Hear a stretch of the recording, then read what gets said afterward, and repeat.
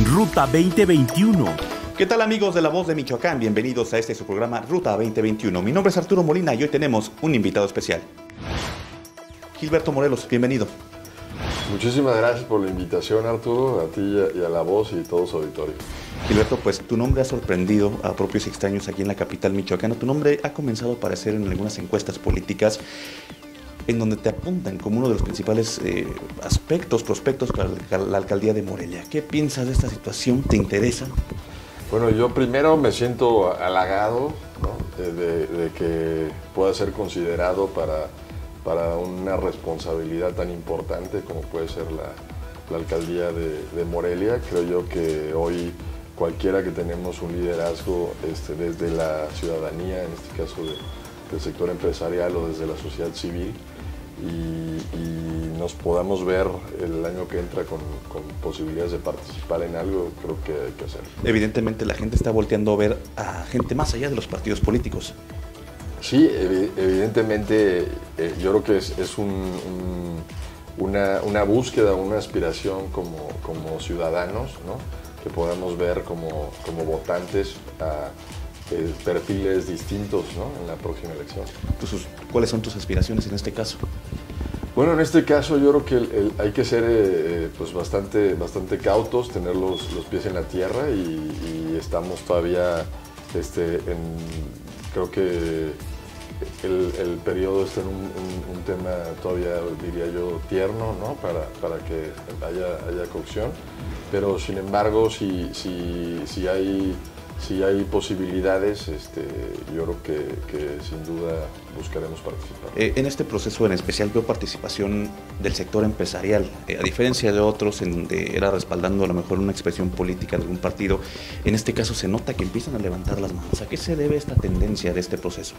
Bueno, yo creo que eh, se, debe a, o sea, reitero que, que, que incluso, o sea, no solo como participantes, sino también este, como ciudadanos y votantes. Creo que todos estamos esperando que haya eh, perfiles distintos. Digo, a mí me encantaría ver este, diferentes caras de liderazgos de la sociedad civil, del sector empresarial, que tengan posibilidades y, que puedan participar en diferentes cargos ya sea de, elección o con responsabilidades públicas. Hay caducidad en los partidos políticos y en el político tradicional que conocemos. Bueno, creo yo que, venimos este, en un proceso de, evolución en la, democracia de, nuestro país.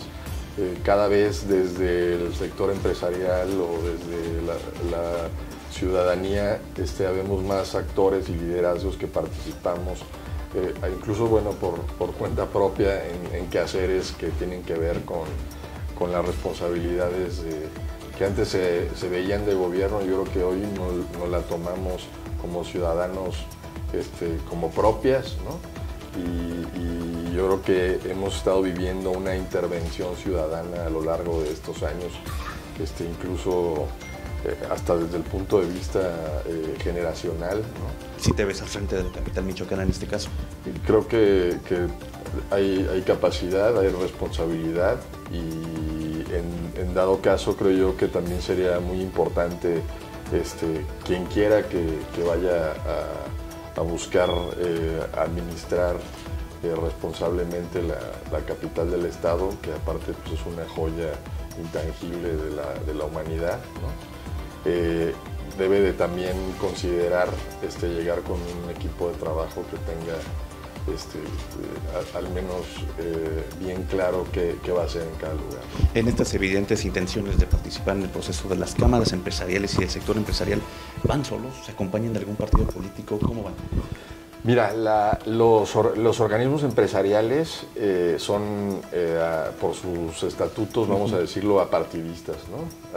hay algunos compañeros que incluso eh, militan o han militado en algún partido político, vemos los que pues, no, nunca hemos estado en una participación directa en, un organismo político, pero yo creo que la, vamos a decir, la, efervescencia o el que haya liderazgos que, que están siendo considerados por la, por la ciudadanía con posibilidades de participar, creo que tiene que ver con, con ese cambio de paradigma que, que estamos teniendo como votantes. ¿no? ¿Les han quedado de ver a ustedes, a los empresarios, eh, las políticas públicas los actores de gobiernos, actores legisladores?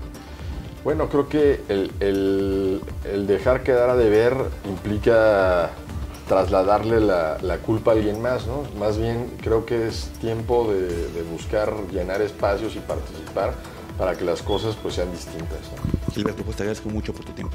Gracias. Gracias amigos de La Voz de Michoacán. Esto fue Ruta 2021.